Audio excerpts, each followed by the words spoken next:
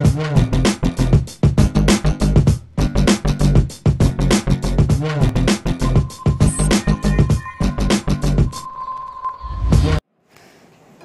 எவ்வளவு நேரம் தான் உனக்காக காத்துட்டு இருக்கிறது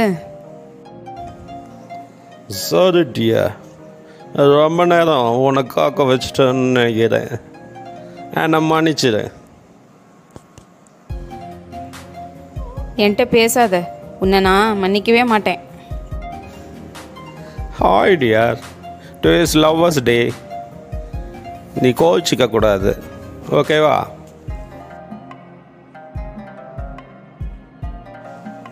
அப்போ எனக்கு மன்னிப்பே கிடையாதா? சரி தோப்பு காரணம் போட்டுட்டா? தோப்பு கர்ணெல்லாம் போட்டு நான் ரோட்டில் என் மானத்தை வாங்காத நான் உன்னை மன்னிச்சிட்டேன். Okay okay I love you Kasturi I love you so much பூக்களே சற்று ஓய்வெடுங்கள். அவள் வந்து விட்டாள். அவள் வந்து விட்டாள். ஏ ஐ என்றால் அது அழகு என்றால் அந்த ஐகளினை அவள் தானா ஹே ஐ என்றால் அது கடவுள் என்றால் அந்த கடவுளின் துகள் அவள் தானா ஐயோ என தியைக்கும் ஐ என வியக்கும் ஐகளுக்கெல்லாம் விடுமுறையை அவள் தந்து விட்டாள். அவள் வந்து விட்டாள். பூக்களே சற்று ஓய்வெடுங்கள். அவள் வந்து விட்டாள். அவள் வந்து விட்டாள். இந்த உலகில் உனைவெல ஒருவன் இலை உந்தன் அசைவுகள் யாவிலுமை. விழியழகு கடந்து உன் இதயம் நுழைந்து என் ஐம்புலம் உணர்ந்திடுமை. இவன் பயத்தை அணைக்க அவள் இவனை அணைக்க அவள் செய்கையில் பெய்வது ஐ. அவள் வெளியின் கனைவில் இந்த உலகம் பணியும் சிறு நோய் அளவையமில்லை என் கைகளை கோர்த்திடு ஐ விரலை இனி தைத்து நீ வைத்திடு நம் நிழலை. அவள் இதழ்களை நுகர்ந்து விட பாதை நெடுக. தவம் புரியும். பூக்களே சற்று ஓய்வெடுங்கள். அவள் வந்து விட்டாள் அவள் வந்து விட்டாள்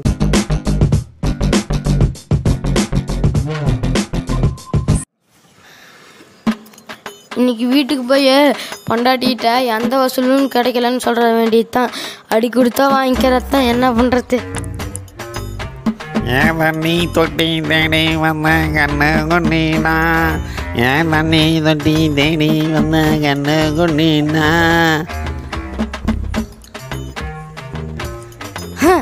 இந்த மக்கு மாமனா சங்கீத வித்மா நினப்பு பாட்டு வேற. இவர் வந்தாலே குடிக்காத காசு தான் கேட்பாரு என்கிட்ட ஒரு பைசா கூட இல்லை. அட மாப்பிள்ளையா வணக்கம் வணக்கம் வணக்கம். எங்கே நைட்டெல்லாம் சங்கு ஊதும் போது நாய் துரத்துச்சுன்னு சொன்னாங்க. உங்களை எங்கெல்லாம் தேடுறது? ஏன் மாமா ஏதோ ஒரு அவசர வேலையா? இல்லை மாமனா காலையில் குடித்தது ஒன்றும் ஏதலை ஒரு ஐம்பது ரூபா கொடுத்தீங்கன்னா நீங்கள் நல்லா இருப்பீங்க. ஏன் மாமா? நானே போலீஸ்காரங்கிட்டையும் நாய்கிட்டையும் படாத பாடுபட்டு தப்பிச்சு வந்துக்கிறேன். என்கிட்ட ஏழு மாமா ஐம்பது ரூபா. அதெல்லாம் எனக்கு தெரியாது. நான் நம்ம ஊர் சாவடியில் உக்காந்துக்கிட்டு இருப்பேன். வந்து நீயா கொடுத்துட்டு போ. இல்லை அப்படின்னா நான் வீட்டுக்கு வந்து உன்னை டார்ச்சர் பண்ணுவேன். பாடுறா வம்ப. விடிய விடிய சங்கூதி காசு கொண்டு வருவனா. இது உக்காந்த இடத்துலயே கொ- கொண்டு போய் காசை கொடுக்கணுமா? எல்லாம் என் நேரம். இந்த ஓங்கலையே தான் வந்து காப்பாற்றணும் சாமி. நான் தான் உங்கள் சங்ககுப்பம் பேசுகிறேன் இந்த வீடியோவை கடைசி வரைக்கும் பாருங்கள் லைக் பண்ணுங்கள் கமெண்ட் பண்ணுங்கள் உங்கள் ஃப்ரெண்ட்ஸ்க்கெல்லாம் ஷேர் பண்ணுங்கள் நண்பர்களே மறக்காமல் கீழே இருக்கிற சப்ஸ்கிரைப் பட்டனையும் பக்கத்தில் இருக்கிற பில் ஐக்கானையும் தட்டி விட்ருங்க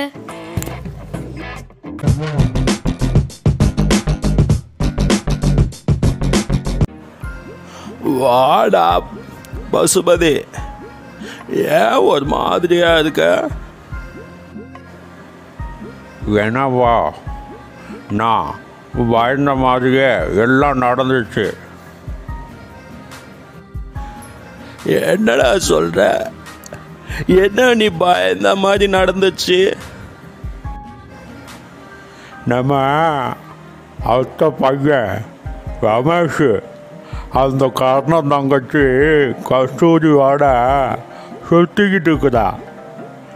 நம்ம அத்தை பொண்ணு செண்பகம் கர்ணனோட கொஞ்சம் பேசிக்கிட்டு என்னடா சொல்ற? நீ ஏதாவது பொய் சொன்னன்னு வச்சுக்க. உன்னை வந்து முடிச்சிடுவேன். நீங்க இப்படியே பேசிக்கிட்டு இருங்கப்பா. நான் அன்னைக்கே சொன்னேன் அந்த காரணனை முடிச்சு கட்டிடலான்னு. இப்பவே நான் போய் என் தங்கச்சி அலங்காரிய பார்த்துட்டு வர்றேன். நீ சொன்னது ஏதாவது தவறாக இருந்தது? ஒன்றை மிச்சத்தில் விட மாட்டேன்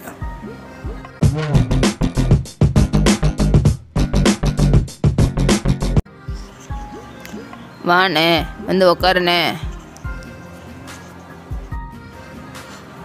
நான் இங்கே வந்து உக்காந்து பேசுறதுக்காக வரல. உன் பொண்ணும் பையனும் பண்ணுற அட்டூழியத்தை சொல்லிட்டு போகலான்னு வந்தேன். உன் பொண்ணு செண்பகம் என்னடான்னா அந்த கார்டனோட சுற்றிக்கிட்டு இருக்கா. பையன் ரமேஷ் காஸ்தூரி பின்னாடி சுற்றிக்கிட்டு இருக்கான். என்னண்ணே சொல்கிற இதெல்லாம் எனக்கு தெரியாது. என்ன நடிக்கிறியா? அந்த காரண பூர்ண கும்பம் முத மரியாதை நல்ல வசதியாக வாழ்கிறான்னு அவனுக்கு கட்டி கொடுக்கலான்னு முடிவெடுத்துட்டியா? என்னண்ணே இப்படி பேசுகிறீங்க உங்கள் பையன் இல்லைன்னா பொண்ணு ஜாதகத்தை கொண்டு வாங்க. பார்த்துட்டு அடுத்த முகூர்த்தத்துலேயே ஒரு கல்யாணத்தை முடிச்சிடலாம். அப்ப ஜாதகம் ஒத்து வரலன்னா? கண்டிப்பாக என் பையனையோ இல்லை என் பொண்ணையோ உங்கள் வீட்டுக்கு கட்டி கொடுப்பண்ணே பேச்சு மாற மாட்டல்ல. நாளைக்கு என் மகனுக்கு பிடிக்கல மகளுக்கு பிடிக்கலன்னு சாக்கு போக்கு சொன்ன நான் மனுஷனாவே இருக்க மாட்டேன்.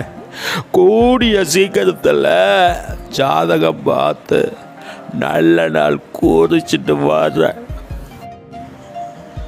என்ன மம்மி சோகமாக உட்காந்துட்டு இருக்கீங்க?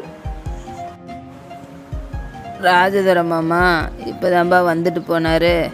நம்ம செண்பகத்தை அவர் பையன் பசுபதிக்கோ இல்லை அவர் பொண்ணை உனக்கோ யாராவது ஒருத்தருக்கு கல்யாணம் முடிச்சிடலான்ட்டு ஒத்த காலில் நிற்கிறாருப்பா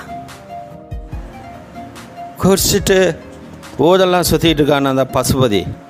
அவனுக்கு ஏன் தங்கச்சியை கட்டி கொடுக்க சொல்கிறியாம்மா இந்த காலத்தில் எவன்டா குடிக்காமல் இருக்கான்? ஏன் உயிரே போனாலும் ஏன் தங்கச்சியை அவனுக்கு கட்டி கொடுக்க மாட்டேன்? ஒரு கல்யாணம் நிச்சயம் நடந்தே ஆகணும்னு மாமா சொல்கிறாரு அப்போ மாமா பொண்ணை நீ கல்யாணம் பண்ணிக்கோ. முடியாது. இதுக்கு நான் ஒத்துக்கவே மாட்டேன்.